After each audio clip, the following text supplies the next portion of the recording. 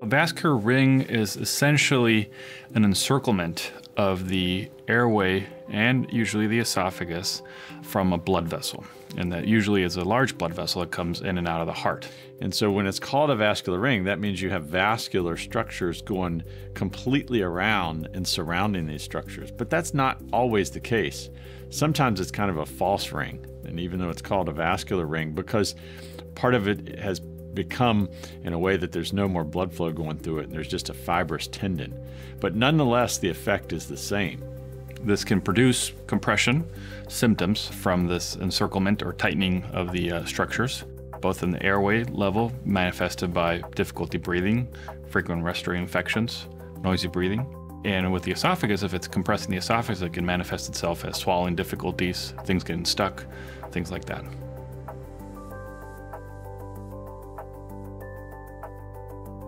Symptoms of vascular rings usually vary per patient, but they most often involve the respiratory or gastrointestinal systems. Respiratory wise, you would see frequent coughing or congestion.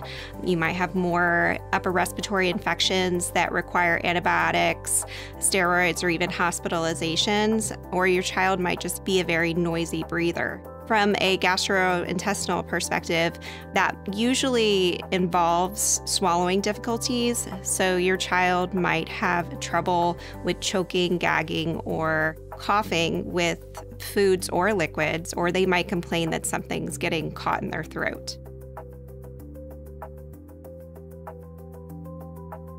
Vascular rings are definitively diagnosed through a CT angiogram or MRI. Occasionally, they can be picked up by an echocardiogram, or we might suspect an anomaly if the child has certain gastrointestinal or respiratory symptoms.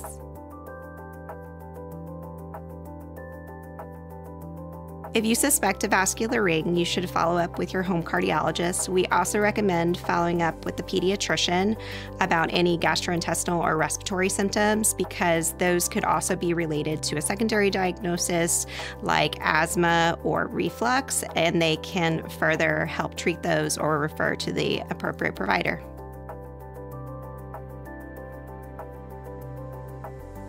You can potentially detect a vascular ring prenatally either through a fetal echocardiogram or MRI.